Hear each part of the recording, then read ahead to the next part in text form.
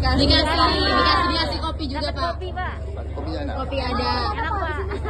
Status keanggotaan Gibran Raka Buming Raka di PDIP secara resmi masih belum jelas hingga saat ini.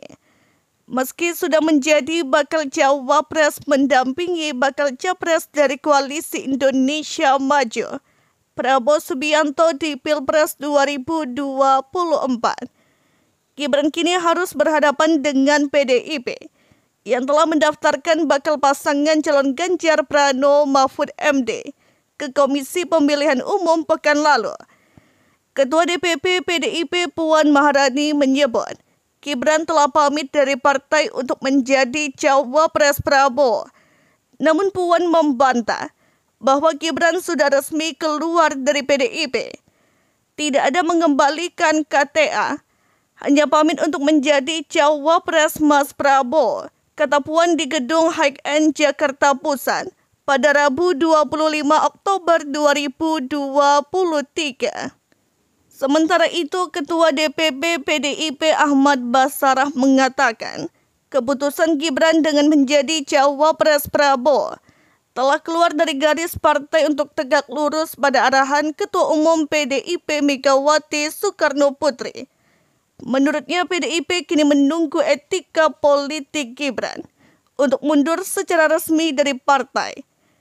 Desakan Gibran mundur pun turut disampaikan Ketua DPC PDIP Kota Solo, FX Hadi Rudiyatmo. Pria yang akrab disapa Rudi itu menyebut pengunduran diri Gibran sebagai bagian dari tata krama berpolitik. Rudi mengatakan, proses pengunduran diri Gibran cukup sederhana, yaitu dengan mengembalikan kartu tanda anggotanya atau KTA ke kantor DPC PDIP.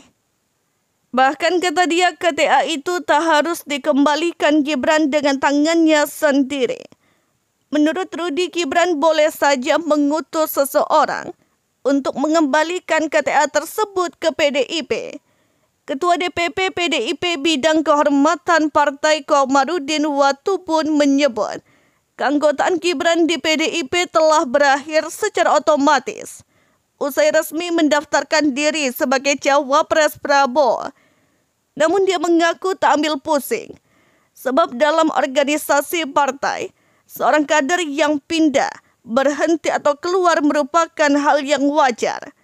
Di sisi lain, Wakil Ketua Umum Partai Gelora Fahri Hamzah memastikan bahwa Gibran tidak keluar dari PDIP dengan berstatus sebagai kader PDIP, Gibran akan berhadapan dengan bakal capres dari partainya, Ganjar Pranowo di Pilpres 2024.